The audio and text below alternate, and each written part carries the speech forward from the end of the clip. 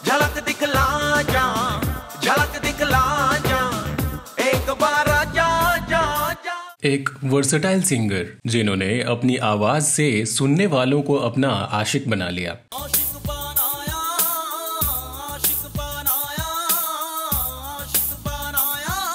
जिनके गाए गानों का सुरूर हर उम्र के लोगों पर छाया रहा तो इसे सुनकर भूतों के भी दौड़े चले आने की खबरें सुर्खियाँ बनी।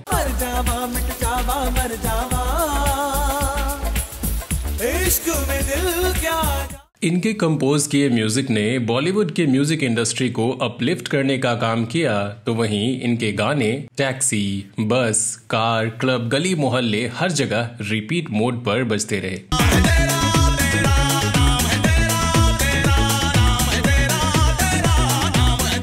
लेकिन क्या आप जानते हैं कि क्यों इस सिंगर को जानी मानी गायिका आशा भोसले ने थप्पड़ मारने की ख्वाहिश जताई?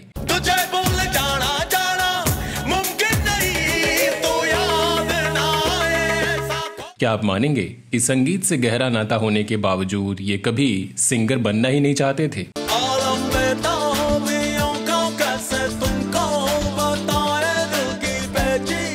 और क्या आप यकीन करेंगे कि इन्होंने महज 21 साल की उम्र में शादी कर ली फिर बेटे के बड़े होने के बाद पत्नी को छोड़कर अपनी गर्लफ्रेंड से दूसरी शादी रचा ले?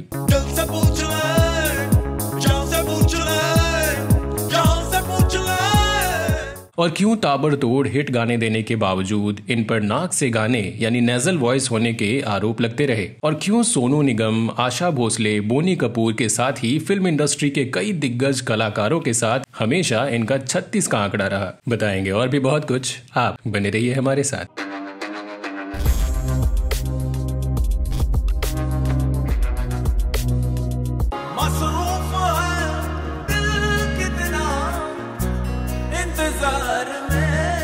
दोस्तों आज हम बात कर रहे हैं सिंगर राइटर कंपोजर और एक्टर एक बेहद वर्सेटाइल कलाकार हिमेश रेशमिया की।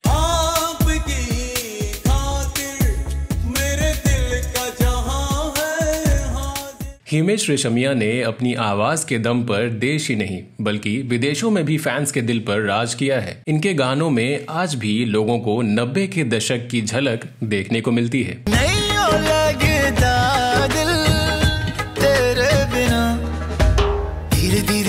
हिमेश ने एक से बढ़कर एक कई बेहतरीन गाने लिखे हैं और अपनी आवाज़ से उन्हें सजाया भी है। हालाँकि, अपने गानों के लिए हिमेश ने जितनी सुर्खियाँ बटोरी, उतना ही ये विवादों को लेकर भी चर्चा में बने रहे।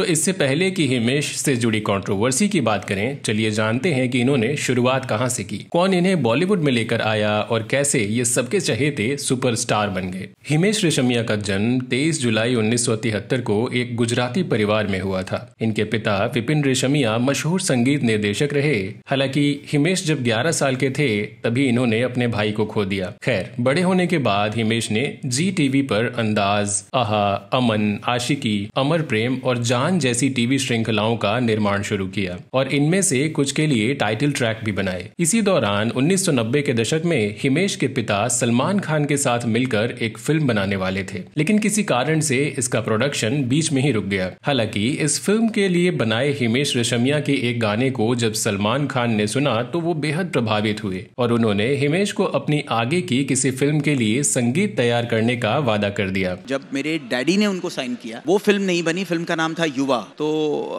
उन्होंने वो गाने सुने थे जिसका, जिसको, मैंने उस तेरह चौदह साल में गाने कंपोज किए थे तो वो गाने उन्हें बहुत पसंद थे। तो उन्होंने वादा किया था कि मैं ब्रेक दूँगा। ये मौका हिमेश को साल उन्नीस में आई सलमान खान की फ़िल्म प्यार किया तो डरना क्या में मिला और इसी फ़िल्म से हिमेश ने एक संगीतकार के रूप में अपने करियर की शुरुआत की। इस फ़िल्म के लिए लिखे इनके गाने प्यार किया तो डरना क्या और तुम पर हमें अटके यारा ज़बरदस्त हिट रहे और हिमेश का फिल्मी करियर चल पड़ा। तेरे प्यार में डूब गए हैं हम खुद को ही भूल गए हैं ओ मेरे दिलदार। अरे तुम पर हम हैं अटके यारा दिल भी मारे झटके। इसके बाद हिमेश ने दूसरे संगीतकारों के साथ मिलकर फ़िल्म बंधन और हेलो ब्रदर के लिए संगीत तैयार किया। सर की जो सर से वो धीरे धीरे पागल हुआ रे मैं धीरे धीरे। लेकिन सोलो म्यूज़िक डायरेक्टर के रूप में इनकी पहली फ़िल्म सलमान खान की दुल्हन हम ले जाएँगे रही। जाने क्या हुआ है क्यों जिया बेकरार। धड़के दिल। हालाँकि हिमेश को as a solo music director प्रसिद्धि तब मिली जब इन्होंने साल 2002 में आई फ़िल्म हमराज के लिए संगीत तैयार किया। तूने ज़िंदगी में आके ज़िंदगी हो। इस फ़िल्म के सभी गाने हिट रहे और इसके लिए हिमेश को बेस्ट म्यूज़िक डायरेक्टर के फ़िल्म फेयर अवार्ड के लिए भी नॉमिनेट किया गया। दिल लिया एतबार। हमको हो गया तुमसे प्यार जब से मिले। साल 2003 में हिमेश ने फ़िल्म चुरा लिया है तुमने फुटपाथ तेरे नाम और ज़मीन में म्यूज़िक दिया। आँखों से काजल की तरह फूलों से खुशबू की तरह दिल को। वैसे तो इन सभी फ़िल्मों के गाने हिट रहे लेकिन फ़िल्म तेरे नाम में कंपोज किए इनके गानों ने हर तरफ़ तहलका मचा दिया।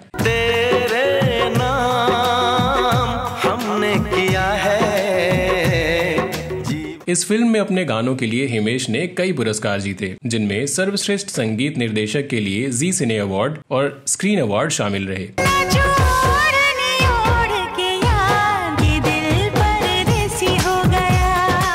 साल 2004 में हिमेश ने film Bardaasht, run, Tarzan the wonder car, Aitraaz और दिल मांगे मोर जैसे कई फ़िल्मों में अपना संगीत दिया, जिनमें फ़िल्म ऐतराज के गानों को लोगों ने सबसे ज़्यादा पसंद किया। गिला गिला गिला, दिल, गिला गिला कोई गिला गिला गिला, दिल बताया जाता है कि हिमेश रेशमिया कभी सिंगर बनना ही नहीं चाहते थे, लेकिन इनके पिता चाहते थे कि हिमेश सिंगर बने। अपने पिता की इसी इच्छा को पूरे करने के लिए हिमेश ने कड़ी मेहनत की और साल 2005 में आई फ़िल्म आशिक बनाया आपने में म्यूज़िक कंपोजिशन के साथ ही सिंगिंग में भी हाथ आजमाया और इस फ़िल्म के तीन गानों में अपनी आवाज़ दी।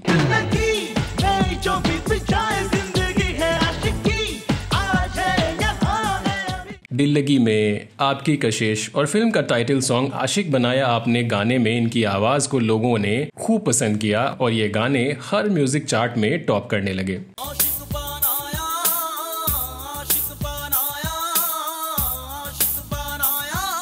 फ़िल्म में इनके गानों के लिए हिमेश को उस साल के best male playback singer Filmfare IIFA और जी सिने अवार्ड से भी नवाजा गया।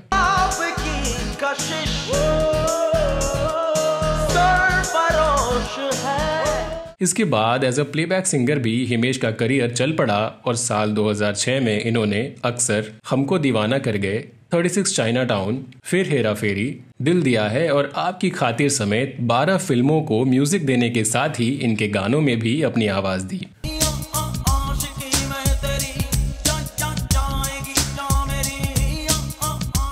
वैसे तो इन सभी फ़िल्मों में गाए हिमेश के सभी गाने हिट रहे, लेकिन इनमें अक्सर और दिल दिया है के गाने सुनने वालों की ज़ुबान पर चढ़ गए।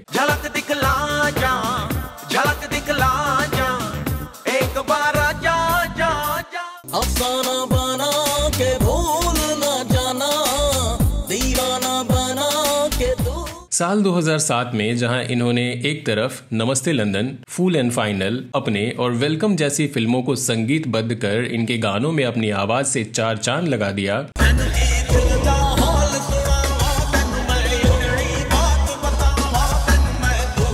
तो वहीं इसी साल इन्होंने फ़िल्म आपका सुरूर से अपने एक्टिंग करियर का भी आगाज़ किया।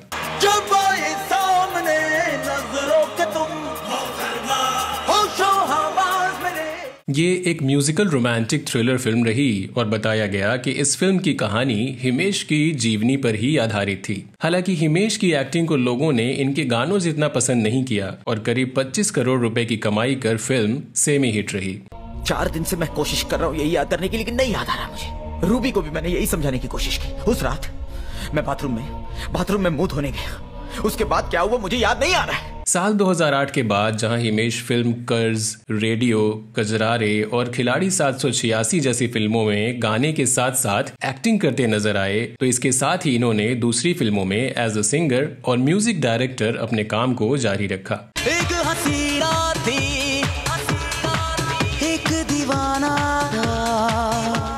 साल 2012 में आई फ़िल्म बोल बच्चन सन ऑफ़ सरदार और खिलाड़ी सात सौ छियासी में गाए इनके ज़्यादातर गाने एक बार फिर सुपरहिट साबित हुए। चलाओ ना नैनों से बाण रे जान ले लो ना जान रे।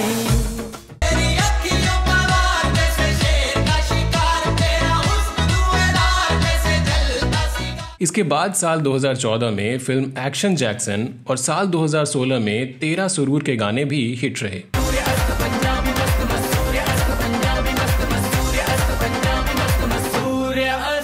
दोस्तों हिमेश रेशमिया का स्टार्डम ऐसा रहा कि ये दावा किया जाने लगा कि इनके गाने सुनकर भूत भी आ जाते हैं। दरअसल ये दावा हिमेश के गाने झलक दिखला जा को लेकर के किया गया था। झलक झलक झलक कहा गया कि इस गाने के आखिरी लाइनों में आजा आजा आता है जिससे बोलने से भूत भी आपके सामने आ जाते हैं। एक बार जा जा ऐसी कई अफवाहों को उस समय काफ़ी हवा मिली। इतना ही नहीं, कुछ लोगों को इस गाने को सुनने में भी डर लगने लगा और भूतों को बुलावा देने के नाम पर लोगों के बीच ये खौफ का कारण बन गया। खबरों की माने तो इस गाने से जुड़ी एक ऐसी ही न्यूज़ ने इस बात को और गर्मा दिया कि सच में ये गाना हॉन्टेड है। बताया जाता है कि गुजरात के एक गाँव में 25 साल के फिरोज ठाकुर नाम के एक शख्स ने देर शाम ये गाना गाया, जिसके बाद से उसकी तबीयत बिगड़ने लगी। वो अजीबो गरीब हरकतें भी करने लगा। हालाँकि इस खबर के वायरल होने के बाद उसके बड़े भाई ने इस बारे में बात करते हुए बताया कि उस दिन उसने बहुत ज़्यादा खा लिया था, जिसकी वजह से उसकी तबीयत बिगड़ गई होगी। हालाँकि चश्मदीदों के मुताबिक वो शख्स नॉर्मल तब हुआ जब उसे किसी मौलाना के पास ले जाकर झाड़फूंक कराया गया। खैर, सच्चाई क्या रही, कहना मुश्किल है। लेकिन इस दौरान अंधविश्वास का दौर काफ़ी तेज रहा। हालाँकि इसके बाद धीरे धीरे हिमेश के गानों का क्रेज कम होता चला गया। एक्सपर्ट्स की माने तो जहाँ एक तरफ़ इन्हें अरिजीत सिंह जैसे टैलेंटेड और वर्सेटाइल सिंगर से स्ट्रॉन्ग कॉम्पिटिशन मिल रहा था तो वही इनके ज़्यादातर गाने अब एक जैसे ही होने लगे थे, या फिर इनके ही किसी पुराने गाने का रीमेक होते थे। महबूबा महबूबा महबूबा महबूबा कहा जाता है कि किसी भी कलाकार का एक एरा होता है और हिमेश अपने समय में सूरज जैसे चमके और उस दौरान कॉम्पिटिटर्स इनके आगे पानी मांगते नज़र आए। जहाँ सलमान खान की मदद से ये इंडस्ट्री में स्टैब्लिश हुए तो वहीं इनके बनाए गानों से फ़िल्म तेरे नाम के ज़रिए सलमान को भी कम करने में काफ़ी मदद मिली। क्यों किसी को वफा के बदले वफा वहीं इमरान हाशमी के साथ भी इनकी जोड़ी बेहद कामयाब रही। झलक दिखला जा आशिक बनाया आपने। और आपकी कशिश जैसे गाने इतने हिट हुए कि इन्होंने हिमेश के साथ ही इमरान हाशमी के करियर को भी सफल बनाने में महत्वपूर्ण भूमिका निभाई।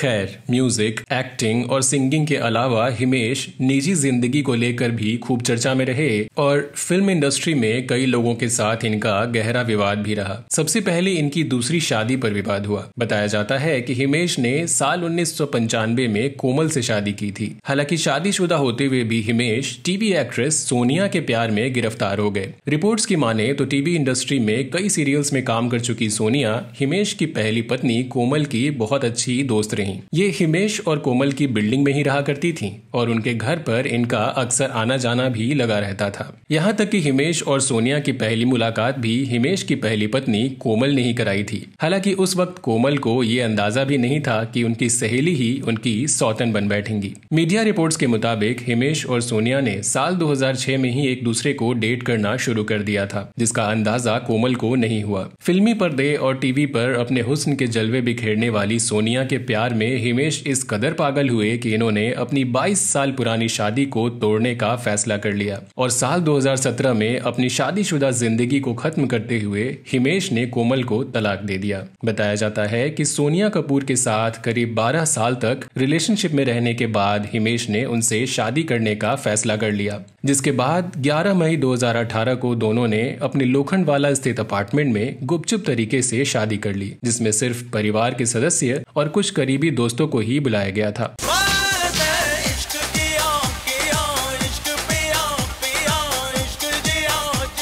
हिमेश से जुड़ी अगली कंट्रोवर्सी की बात करें तो साल 2007 में हिमेश ने बुरका पहनकर अजमेर के मोइनुद्दीन चिश्ती दरगाह का दौरा किया था, जिसके बाद इन्हें लोगों की धार्मिक भावनाओं को ठेस पहुँचाने के लिए गुस्से और ट्रोल का शिकार होना पड़ा। बाद में हिमेश ने इस पूरे मामले में सफ़ाई देते हुए कहा कि ऐसा इन्होंने प्रशंसकों से बचने के लिए किया था। हालाँकि हिमेश के माफ़ी मांगने के बाद ये मामला ठंडा हो गया। हिमेश का विवाद बॉलीवुड म्यूज़िक इंडस्ट्री के टॉप सिंगर सोनू निगम के साथ भी हो चुका है। एक बार हिमेश ने सोनू के लिए ये कह दिया कि ये जानते हैं कि सोनू निगम कौन है। वो छोटे स्टेज पर जाते हैं। हालाँकि इस पर जवाब देते हुए सोनू ने कहा कि हिमेश पागल हो गए हैं और हिमेश के साथ उनकी तुलना मज़ाक और अपमान है। बताया जाता है की तीखी टिप्पणियों का यह सिलसिला लंबा चला। खैर, ऐसे ही एक और मामले में हिमेश का विवाद गायिका आशा भोसले के साथ भी रहा। दरअसल हिमेश के गानों में नेजल टोन होने के लिए फ़िल्म इंडस्ट्री में इनकी खूब आलोचना होती रही। एक कॉन्सर्ट के दौरान जब इनके नाक से गाने की बात पर टिप्पणी की गई तो हिमेश ने आर डी बर्मन और कई बड़े कलाकारों का नाम लेते हुए कहा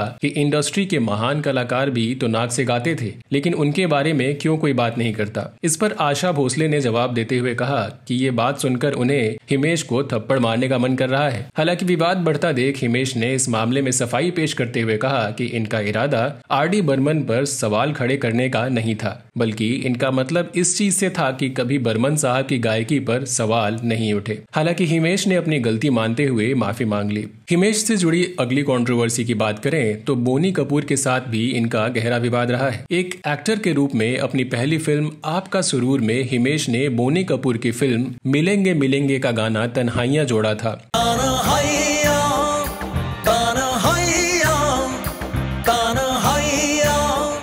शुरुआत में हिमेश ने बोनी की फ़िल्म के लिए गाना तैयार किया था, लेकिन बाद में हिमेश ने इसे अपनी फ़िल्म के लिए इस्तेमाल करने का फैसला कर लिया। मिलेंगे मिलेंगे के ऑडियो राइट्स रखने वाली म्यूज़िक कंपनी ने हिमेश रेशमिया पर कॉपीराइट उल्लंघन का आरोप लगाया, क्योंकि आपका Suroor the real love story के ऑडियो राइट्स किसी दूसरी म्यूज़िक कंपनी के पास थे। हालाँकि हिमेश ने अपने बचाव में कहा कि इन्होंने बोनी कपूर को उनकी फ़िल्म के लिए गाने सुनाए थे, लेकिन उसमें ये गाना शामिल नहीं था। हिमेश ने यह भी दावा किया कि इन्होंने सात महीने तक बोनी कपूर से संपर्क करने की कोशिश की। और चूँकि फ़िल्म पर कोई प्रोग्रेस नहीं हो रही थी तो हिमेश ने इस गाने को अपनी फ़िल्म के लिए इस्तेमाल करने का फैसला किया। खैर फ़िल्म इंडस्ट्री के कॉम्पिटिटिव एनवायरमेंट में इतने कम समय में इतना नाम कमाना और सबकी ज़ुबान पर चढ़ जाना कोई आसान काम नहीं है। ये हिमेश का हार्ड वर्क और टैलेंट ही रहा जिसने श्रोताओं को इनका दीवाना बना दिया। और आज भी फैंस इनके गाने रिपीट मोड पर सुनते हैं।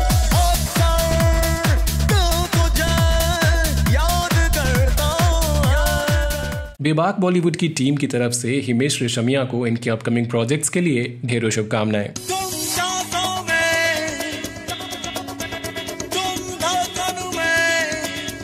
तो दोस्तों आपको आज का हमारा ये वीडियो कैसा लगा हमें कमेंट सेक्शन में ज़रूर बताएँ। साथ ही अगर आपके पास भी हिमेश रेशमिया से जुड़ी कोई इंटरेस्टिंग जानकारी हो तो वो भी हमारे साथ ज़रूर शेयर करें। बॉलीवुड की किसी विभाग स्टोरी के साथ अगले वीडियो में आपसे फिर होगी मुलाकात। तब तक के लिए नमस्कार।